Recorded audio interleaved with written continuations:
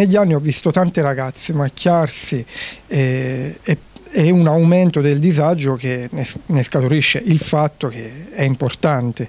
E quindi questo tende a diminuire il disagio, quindi andare incontro ad una problematica che è reale, un po' come accompagnare la ragazza bambina, la definirei a 12 anni, eh, nel suo percorso ecco, adolescenziale assorbenti gratuiti nei bagni delle scuole aretine. Questa la proposta avanzata da Fratelli d'Italia al sindaco di Arezzo Alessandro Ghinelli e alla giunta per l'installazione di dispenser negli istituti secondari di primo grado e nelle superiori. È una nostra, è una nostra battaglia che portiamo avanti, tant'è vero che il governo Meloni subito dopo l'insediamento ha ridotto l'IVA dal 10% al 5% e eh, negli anni, nel futuro si prevede di azzerare, di abbattere l'IVA per uh, i dispositivi di, uh, di, protezione per l'igiene femminile. Qui è stato fatto un passo avanti e ne vado fiero. Abbiamo fatto questo primo passo ad Arezzo, che spero si realizzi nel minor tempo possibile, per poi promuoverlo attraverso i nostri deputati e senatori.